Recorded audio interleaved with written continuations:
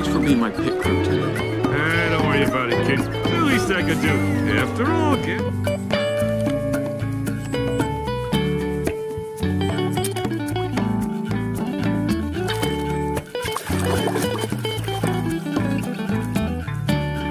Well, he's got some serious work ahead of him if he wants to get back in this race.